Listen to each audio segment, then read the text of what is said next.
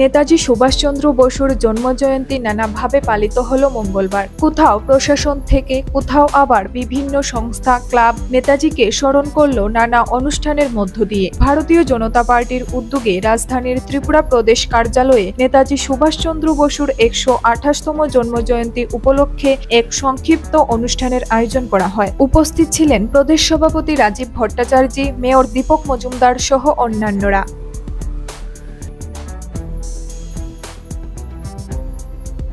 আমরা সবাই জানি, তেইশে জানুয়ারি আমাদের কাছে একটা গর্বের বিষয়। আজাদিন ফৌজের নায়ক, স্বাধীনতার যুদ্ধের মূল নায়ক নেতাজি সুভাষচন্দ্র বসুর আজকে জন্মদিন। এই জন্মদিনটাকে সামনে রেখে আমরা সমস্ত ভারতবাসী ওনার এই জন্মদিনটাকে আমরা উদযাপন করি বিভিন্ন কর্মসূচির মাধ্যমে। আজকে আমরা আমাদের দলীয় কার্যালয়ে জাতীয় পতাকা উত্তোলন এবং ওনার প্রতিকৃতিতে মাল্যদানের মাধ্যমে আজকের এই নেতাজির শুভ জন্মদিনটাকে আমরা উদযাপন করছি এবং আমাদের প্রত্যেক কার্যালয়ে এবং প্রত্যেক বুথে বুথে এই নেতাজি সুভাষচন্দ্র বসুর জন্মদিনটাকে আমরা উদযাপন করছি।